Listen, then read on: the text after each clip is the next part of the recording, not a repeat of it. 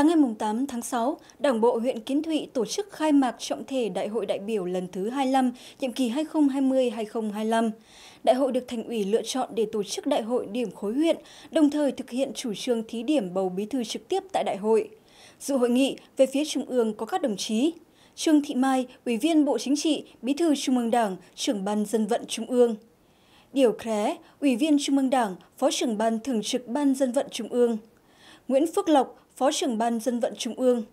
đại diện các ban xây dựng Đảng và Văn phòng Trung ương Đảng theo dõi Đảng bộ thành phố. Về phía thành phố có các đồng chí Lê Văn Thành, Ủy viên Trung ương Đảng, Bí thư Thành ủy, Chủ tịch Hội đồng Nhân dân thành phố. Nguyễn Văn Tùng, Phó Bí thư Thành ủy, Chủ tịch Ủy ban Nhân dân thành phố. Nguyễn Thị Nghĩa, Phó Bí thư Thường trực Thành ủy, Trưởng đoàn đại biểu Quốc hội Hải Phòng cùng các đồng chí ủy viên Ban Thường vụ Thành ủy, lãnh đạo các ban xây dựng Đảng, Văn phòng Thành ủy, ban ngành thành phố, đại diện lãnh đạo huyện ủy các huyện trên địa bàn thành phố cùng các đồng chí nguyên là lãnh đạo chủ chốt huyện qua các thời kỳ và 224 đại biểu đại diện gần 6.000 đảng viên thuộc 55 chi đảng bộ trên địa bàn huyện. Đại hội Đảng bộ huyện Kiến Thụy lần thứ 25 có chủ đề nâng cao năng lực lãnh đạo và sức chiến đấu của toàn Đảng bộ, phát huy truyền thống Kiến Thụy anh hùng, đoàn kết, sáng tạo, huy động mọi nguồn lực để đầu tư phát triển, phấn đấu đến năm 2025 trở thành huyện nông thôn mới kiểu mẫu. Năm năm qua, Đảng bộ, chính quyền nhân dân huyện Kiến Thụy đạt được những kết quả nổi bật, toàn diện, mở ra một thời kỳ phát triển mới. Trong đó, hoàn thành toàn diện 17 trên 17 các chỉ tiêu nhiệm kỳ, 6 trên 17 chỉ tiêu hoàn thành vượt kế hoạch, 2 trên 17 chỉ tiêu hoàn thành sớm từ 1 đến 3 năm so với mục tiêu đề ra, thu ngân sách và xây dựng nông thôn mới. Tăng trưởng kinh tế ở mức cao, cơ cấu kinh tế chuyển dịch theo hướng tích cực, tỷ trọng nông, thủy sản giảm, tỷ trọng ngành thương mại, dịch vụ và du lịch tăng cao, tốc độ tăng trưởng khá ở mức bình quân chung của thành phố. Bước vào nhiệm kỳ 2020-2025, huyện Kiến Thụy đang đứng trước thuận lợi, cơ hội phát triển bứt phá, đồng thời cũng đứng trước nhiều khó khăn, thách thức lớn. Huyện xác định mục tiêu phát huy tối đa các nguồn lực để đầu tư phát triển, phấn đấu xây dựng huyện đến năm 2025 trở thành huyện nông thôn mới kiểu mẫu. Tăng trưởng kinh tế giai đoạn 2021-2025 bình quân đạt từ 15 đến 17% khai thác toàn diện lợi thế kinh tế biển và huyện ven đô, xây dựng tổ chức đảng, hệ thống chính trị, quốc phòng, an ninh vững mạnh, đời sống vật chất và tinh thần của nhân dân không ngừng được nâng cao. Phát biểu tại đại hội, đồng chí Lê Văn Thành, Ủy viên Trung ương Đảng, Bí thư Thành ủy, Chủ tịch Hội đồng Nhân dân thành phố đánh giá cao và biểu dương những cố gắng, nỗ lực và kết quả toàn diện mà Đảng bộ, chính quyền, quân và dân huyện Kiến Thụy đạt được trong nhiệm kỳ vừa qua. Đồng chí Bí thư Thành ủy nhấn mạnh. Kính thưa đồng chí Trương Thị Mai, Ủy viên Bộ Chính trị, Bí thư Trung ương Đảng, trưởng Ban dân vận Trung ương. Kính thưa đồng chí Điều Cré, Ủy viên Trung ương Đảng, Phó trưởng Ban Thường trực Ban dân vận Trung ương. Kính thưa các đồng chí, các quý vị đại biểu, thưa toàn thể đại hội. Thực hiện chỉ đạo của Trung ương, của Thành ủy về Đại hội Đảng bộ các cấp tiến tới Đại hội Đảng bộ thành phố lần thứ 16 và Đại hội đại biểu toàn quốc lần thứ 13 của Đảng. Hôm nay, Đảng bộ huyện Kiến Thụy tổ chức Đại hội đại biểu lần thứ 25 nhiệm kỳ 2020-2025. Đây là đại hội điểm cấp quận huyện đầu tiên của Đảng bộ thành phố chúng ta Thay mặt thành ủy, tôi nhiệt liệt chào mừng đồng chí Trương Thị Mai, Ủy viên Bộ Chính trị, Bí thư Trung ương Đảng, trưởng Ban dân vận Trung ương, đồng chí Điều Cré, Ủy viên Trung ương Đảng, Phó trưởng Ban thường trực Ban dân vận Trung ương cùng toàn thể các đồng chí đại biểu đã về dự đại hội. Chúc đại hội thành công tốt đẹp. Kính thưa đại hội, trong nhiệm kỳ vừa qua, Hải Phòng đã đạt được những thành tích quan trọng vượt bậc trên con đường xây dựng và phát triển, thực hiện thành công nghị quyết đại hội 12 của Đảng và nghị quyết đại hội 15 Đảng bộ thành phố. Trong thành tích chung của Đảng bộ, chính quyền, quân và dân thành phố, thành ủy ghi nhận và đánh giá cao những kết quả quan trọng những đóng góp tích cực của Đảng bộ, chính quyền, quân và dân huyện Kiến Thụy. Thành ủy Hải Phòng cơ bản nhất trí với những phân tích, đánh giá trong báo cáo chính trị của Ban chấp hành Đảng bộ huyện nhiệm kỳ 2015-2020 đã trình đại hội. Báo cáo chính trị đã thể hiện một cách toàn diện những kết quả mà huyện Kiến Thụy đạt được trong tổ chức thực hiện nghị quyết đại hội Đảng bộ thành phố lần thứ 15 và nghị quyết đại hội Đảng bộ huyện lần thứ 24. Thay mặt thành ủy, tôi có một số ý kiến để làm rõ thêm những kết quả trong công tác lãnh đạo chỉ đạo của Đảng bộ huyện Kiến Thụy như sau. Một là Đảng bộ huyện Kiến Thụy đã quán triệt sâu sắc và tổ chức thực hiện có hiệu quả các chương trình, kế hoạch phát triển kinh tế xã hội, hoàn thành và hoàn thành vượt mức hầu hết các chỉ tiêu mà nghị quyết đại hội Đảng bộ huyện lần thứ 24 đã đề ra. Tốc độ tăng trưởng kinh tế của Kiến Thụy bình quân đạt 13,02%. Quá trình chuyển dịch cơ cấu kinh tế đã được triển khai theo đúng định hướng, có hiệu quả. Tỷ trọng GDP nhóm ngành thương mại, du lịch dịch vụ tăng nhanh, nhóm ngành nông nghiệp, thủy sản giảm dần theo định hướng. Toàn huyện đã hình thành 64 vùng sản xuất tập trung, trong đó đã xuất hiện một số trang trại, khu vực nuôi trồng thủy sản, sản xuất sản phẩm nông nghiệp có chất lượng cao, thân thiện môi trường, mở ra một hướng đi hiện thực cho sự phát triển nông ngư nghiệp trong thời kỳ mới. Thứ hai, thu ngân sách tăng gấp hơn 3 lần so với bình quân nhiệm kỳ trước.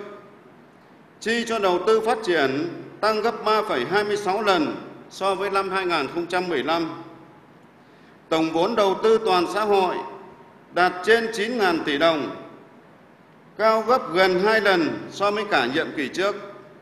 Các chỉ tiêu đó đều vượt mục tiêu nghị quyết đại hội Đảng bộ huyện đã đề ra, góp phần quyết định vào việc làm chuyển biến hệ thống kết cấu hạ tầng giao thông, hạ tầng kinh tế xã hội của huyện theo hướng văn minh và hiện đại. Ba là chương trình xây dựng nông thôn mới đã được thực hiện có hiệu quả, huy động được cả hệ thống chính trị, các tầng lớp nhân dân tham gia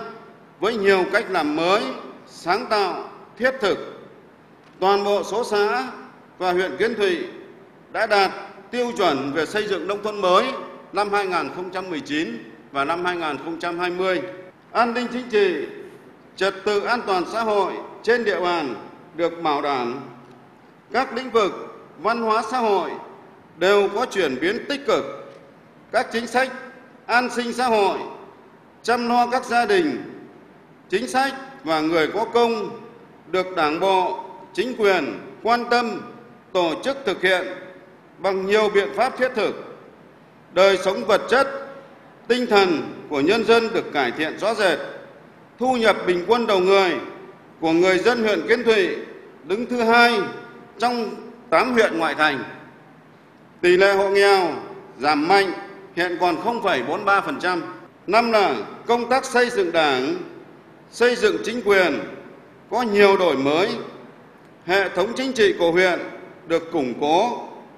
khối đại đoàn kết toàn dân được tăng cường, nhân dân tin tưởng tuyệt đối vào vai trò lãnh đạo của Đảng, phấn khởi, tự hào trước sự phát triển mạnh mẽ của thành phố và địa phương. Với những kết quả đạt được nêu trên, huyện Kiến Thụy đã cùng với các quận, các huyện khác của thành phố góp phần thiết thực đưa thành phố chúng ta vượt qua nhiều khó khăn và thách thức, bước vào thời kỳ phát triển mới. Thay mặt thành ủy, tôi đánh giá cao và nhiệt liệt biểu dương những cố gắng, nỗ lực và kết quả toàn diện mà Đảng bộ, chính quyền, quân và dân huyện Kiến Thụy đã đạt được trong nhiệm kỳ vừa qua. Tuy nhiên, chúng ta cũng thấy rằng bên cạnh những kết quả đạt được trong một số lĩnh vực trong công tác lãnh đạo, chỉ đạo, huyện Kiến Thụy vẫn còn tồn tại một số hạn chế, yếu kém. Phát triển công nghiệp, tiểu thủ công nghiệp, nông nghiệp sinh thái gắn với phát triển du lịch dịch vụ chưa được khơi dậy và phát huy tương xứng với tiềm năng lợi thế của một huyện ven đô. Việc chuyển dịch cơ cấu sản xuất nông nghiệp tuy có tiến bộ nhưng vẫn chưa đạt được yêu cầu. Tỷ trọng đóng góp GDP của lĩnh vực thương mại, du lịch dịch vụ chưa cao như mong muốn, trong khi tỷ trọng đóng góp GDP của lĩnh vực nông nghiệp, thủy sản vẫn ở mức 19,5% là chưa có chuyển biến đáng kể. Công tác quản lý nhà nước về đất đai, tài nguyên, môi trường, giao thông, trật tự xây dựng còn nhiều hạn chế. Tiến độ triển khai một số công trình, dự án còn chậm. Năng lực lãnh đạo và sức chiến đấu của một số tổ chức cơ sở đảng và đảng viên chưa đáp ứng được yêu cầu. Những kết quả đạt được và những tồn tại hạn chế trong nhiệm kỳ vừa qua cần được đại hội tập trung thảo luận, phân tích sâu sắc, đề ra các giải pháp thiết thực nhằm phát huy kết quả khắc phục hạn chế khuyết điểm trong nhiệm kỳ tới. Kính thưa đại hội, với việc Bộ Chính trị ban hành nghị quyết 45 về xây dựng và phát triển thành phố Hải Phòng đến năm 2030, tầm nhìn đến năm 2045, Đảng bộ, nhân dân thành phố Hải Phòng đang đứng trước vận hội to lớn để đưa Hải Phòng bước vào thời kỳ phát triển mới với mục tiêu hoàn thành sự nghiệp công nghiệp hóa, hiện đại hóa vào năm 2025. Thời kỳ củng cố phát triển cơ sở nền tảng để Hải Phòng gia nhập vào nhóm những thành phố hiện đại hàng đầu của Đông Nam Á và châu Á vào năm 2030 và năm 2045. Để thực hiện thành công định hướng đó của Bộ Chính trị, đòi hỏi Đảng bộ, chính quyền, quân và dân thành phố Hải Phòng phải có nhiều nỗ lực hơn nữa, quyết tâm hơn nữa. Ý chí đó phải được thể hiện sâu sắc ngay trong phương hướng, nhiệm vụ, nghị quyết tại Đại hội Đảng bộ các cấp nhiệm kỳ 2020-2025. Đảng bộ, chính quyền, nhân dân huyện Kiến Thụy tự hào về truyền thống là địa phương đầu tiên thành lập Ủy ban Dân tộc Giải phóng Kim Sơn trong cuộc tổng khởi nghĩa cách mạng tháng 8 ở Hải Phòng, Kiến An là một trong những đảng bộ địa phương có đột phá táo bạo về cơ chế sản xuất nông nghiệp trong những năm đầu của thời kỳ đổi mới, cũng như những đóng góp xứng đáng trong sự nghiệp cách mạng của đất nước, của thành phố. Bước vào thời kỳ mới, kiến tụy phải phấn đấu để là huyện đi đầu trong việc hoàn thành chủ trương xây dựng huyện nông thôn mới kiểu mẫu, góp phần quan trọng vào sự nghiệp công nghiệp hóa, hiện đại hóa thành phố theo nghị quyết 45 của Bộ Chính trị báo cáo chính trị của Ban chấp hành Đảng bộ huyện khóa 24 trình đại hội đã thể hiện toàn diện những mục tiêu, nhiệm vụ, giải pháp công tác trong nhiệm kỳ tới. Thành ủy hoàn toàn nhất trí. Tôi chỉ xin nhấn mạnh và lưu ý một số nội dung sau đây. Thứ nhất, Đảng bộ huyện Kiến Thụy cần căn cứ vào đặc điểm, vị trí địa kinh tế của một huyện ven đô để có định hướng, khơi dậy, phát huy lợi thế, tiềm năng của địa phương. Điều đó đòi hỏi ban chấp hành đảng bộ huyện Kiên Thụy khóa 25 phải có tư duy đổi mới, khuyến khích việc hình thành các khu cụm công nghiệp tại những vùng đất ven biển, tổ chức thực hiện cải tạo nâng cấp đồng bộ các tuyến đường giao thông gắn với hệ thống chiếu sáng, thoát nước, thu gom xử lý rác thải, trồng cây xanh để vùng nông thôn Kiến Thụy tiệm cận với các tiêu chuẩn của đô thị theo hướng xanh, sạch, đẹp. Thứ hai, tập trung thúc đẩy quá trình cơ cấu lại sản xuất nông nghiệp. Nhất thiết phải tạo sự chuyển biến vượt bậc về phát triển nông nghiệp theo hướng sinh thái, áp dụng công nghệ tiên tiến, tạo ra sản phẩm sạch, thân thiện môi trường, có giá trị kinh tế cao, phục vụ đô thị và xuất khẩu. Trong quá trình đó, chính quyền cần khuyến khích người dân phát triển trồng trọt, chăn nuôi hữu cơ, phát triển kinh tế trang trại, các mô hình tích tụ tập trung ruộng đất để sản xuất quy mô lớn, hiện đại, tạo ra các hàng hóa có thương hiệu. Thứ ba,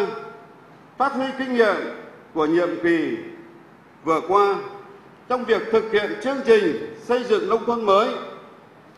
Đảng bộ huyện cần làm tốt công tác tuyên truyền, huy động sự tham gia của cả hệ thống chính trị và các tầng lớp nhân dân vào xây dựng nông thôn mới kiểu mẫu, thực hiện thật tốt phương châm dân biết, dân bàn, dân làm, dân kiểm tra và dân thụ hưởng. Tiếp tục thực hiện tốt công tác bảo đảm an sinh xã hội, quan tâm, chăm lo, trợ giúp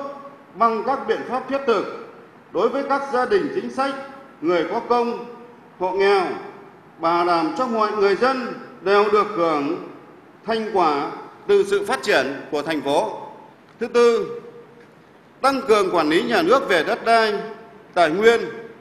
không để xảy ra tình trạng buông lỏng quản lý, xử lý nghiêm các hành vi khai thác trái phép khoáng sản ven sông, ven biển, vi phạm pháp luật về quản lý sử dụng đất đai. Đồng thời,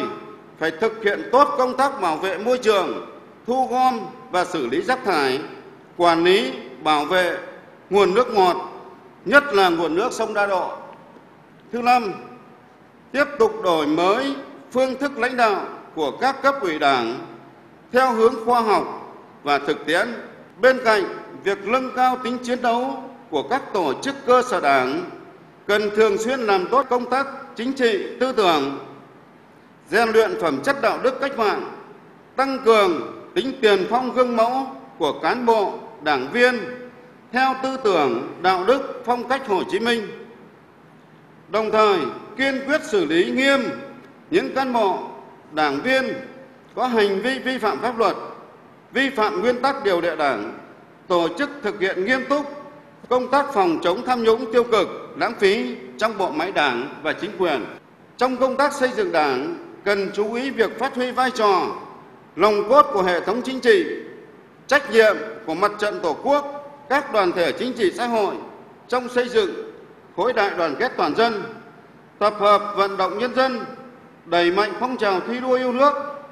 thực hành dân chủ và đồng thuận xã hội thứ sáu một nhiệm vụ quan trọng của đại hội là bầu ban chấp hành đảng bộ huyện nhiệm kỳ tới và bầu đoàn đại biểu đảng bộ huyện đi dự đại hội đảng bộ thành phố lần thứ 16. Đặc biệt, tại đại hội này sẽ tiến hành bầu cử trực tiếp bí thư huyện ủy. Tôi đề nghị các đồng chí đại biểu nêu cao tinh thần trách nhiệm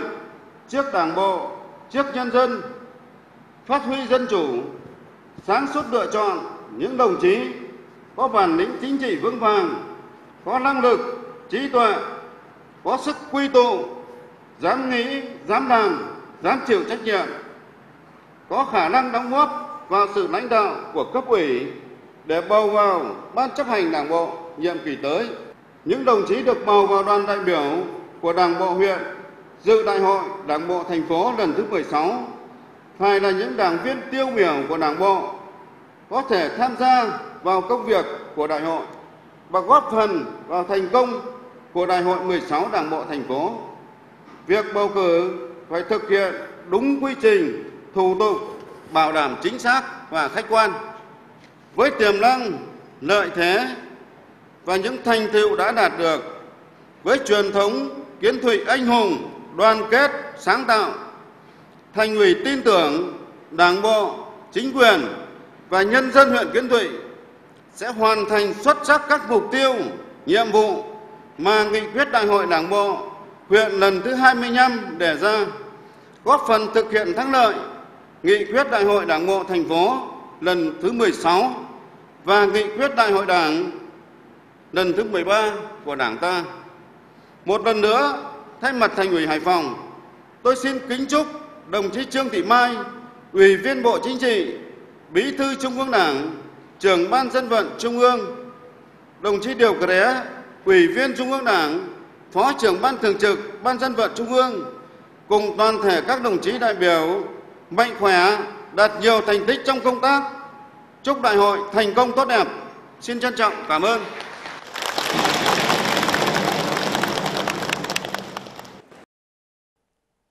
Đồng chí Bí thư Thành ủy cũng khẳng định, Ban chấp hành Đảng bộ huyện Kiến Thụy khóa 25 phải có tư duy đổi mới, khuyến khích việc hình thành các khu, cụm công nghiệp tại những vùng đất ven biển không có khả năng sản xuất nông nghiệp, tập trung thúc đẩy quá trình cơ cấu lại sản xuất nông nghiệp, nhất thiết phải tạo sự chuyển biến vượt bậc về phát triển nông nghiệp. Trong đó, Đảng bộ huyện cần làm tốt công tác tuyên truyền, huy động sự tham gia của cả hệ thống chính trị và các tầng lớp nhân dân vào việc xây dựng xã, huyện nông thôn mới kiểu mẫu, thực hiện thật tốt phương châm dân biết, dân bàn, dân làm, dân kiểm tra và dân thụ hưởng. Tại phiên làm việc buổi chiều ngày 8 tháng 6, Đại hội đã bầu 35 đồng chí vào Ban chấp hành Đảng bộ huyện lần thứ 25, nhiệm kỳ 2020-2025. Đồng chí Đỗ Xuân Trịnh, Bí thư huyện ủy Kiến Thụy, nhiệm kỳ 2015-2020, được bầu trực tiếp tại đại hội, giữ chức Bí thư huyện ủy Kiến Thụy nhiệm kỳ 2020-2025 với số phiếu 218, đạt tỷ lệ 97,3%.